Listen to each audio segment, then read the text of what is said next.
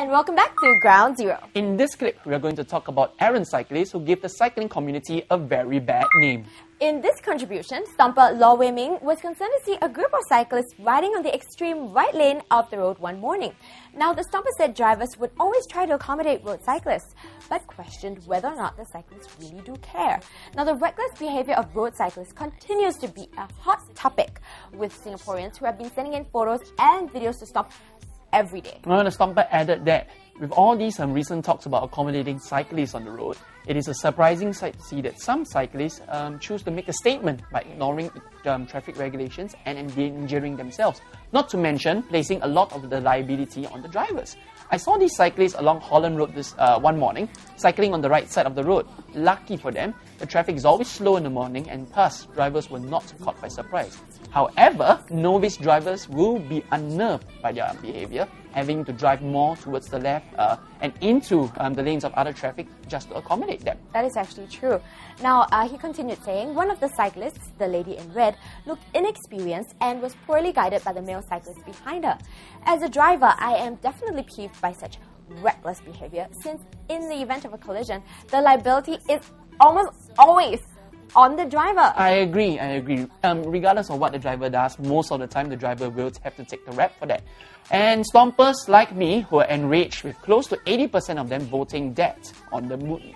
Mm. Say, for example, uh, Tomster Rumbler who said what the stomper should have done was to slow down, wind down his windows, and tell those idiots to cycle on the left. Tell them to use a little bit more of that thing they call a brain.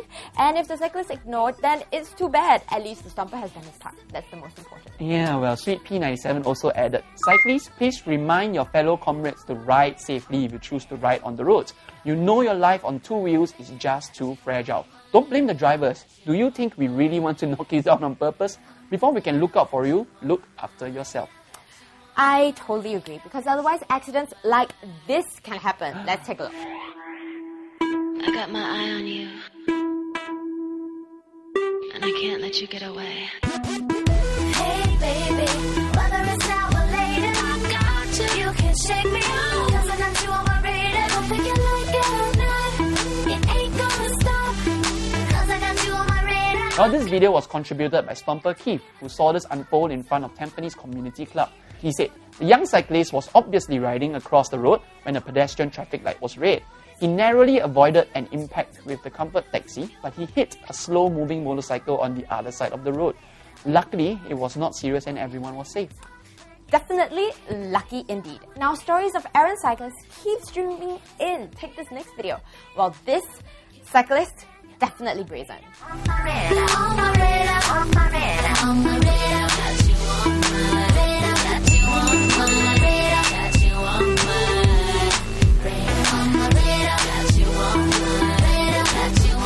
No wonder the stompers are enraged. More than 80% of them to be, uh, more than 87% of them, sorry, to be exact. And I'm not surprised, you know, this guy is really riding dangerously. Exactly. I mean, in one uh, comment, Red Army said uh, the cyclist from video 2 very hard to not knock him down when he's trying so hard to commit suicide.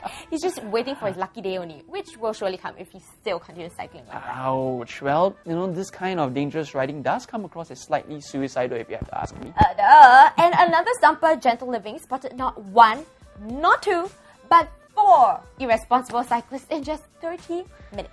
It's just a very short time to spend, you know. I don't know how you can spot so many errant cyclists. Three minutes. Yeah, but let's find out. Well, Gentle Living wrote, um, within 30 minutes of my drive this morning, I encountered four incidents involving cyclists making very bad decisions on the road. The first incident was a, involved a cyclist and motorbike uh, that almost collided at the traffic junction. Mm-hmm. The second one involved a cyclist who tried to cut into the path of cars while beating the traffic lights. Mm-hmm. The third one was a cyclist riding on the pavement, and the fourth was a cyclist joining cars and heading towards the expressway. He, uh, he said, This is stressful, frustrating, and dangerous for everyone uh, motorists and pedestrians included, who are going about uh, their daily lives trying to use the roads properly.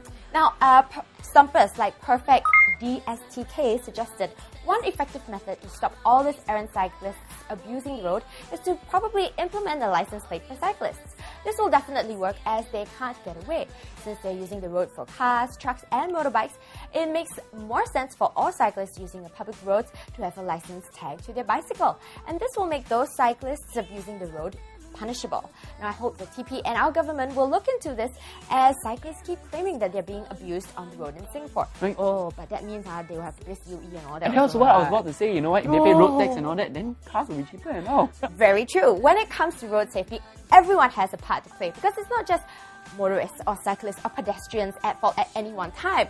I guess all of us have to be mindful and considerate of others when using the road. Exactly. Meanwhile, stay tuned because up next, we bring you some horsing around from Korea to Singapore.